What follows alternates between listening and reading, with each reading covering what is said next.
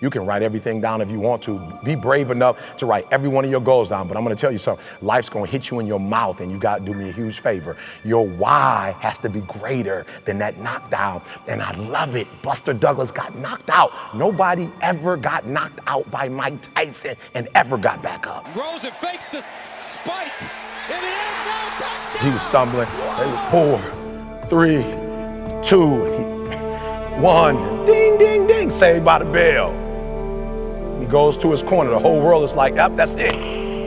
Once he comes back out, that's it. Mike's gonna just hammer him. And exactly that. Mike Tyson came out like, I got him. I got this kid up against the rope. Listen to me, many of you right now, life's got you up against the rope. You can't give up. You can't give in. Listen to me, if it was easy, everybody would do it. And if life's got you backed up, I need you to do what Buster Douglas did. Buster Douglas start fighting back. Looking end zone. Intercepted,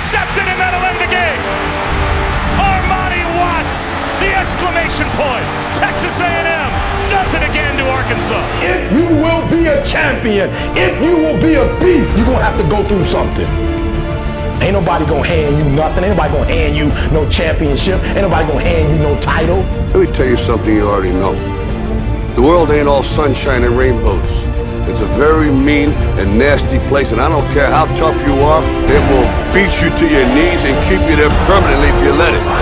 You, me, or nobody is gonna hit as hard as life. But it ain't about how hard you hit. It's about how hard you can get hit and keep moving forward. How much you can take and keep moving forward. That's how winning is done. All of you, I know you got him. I know you got him picked, but the man's in trouble. I'm gonna show you how great I am.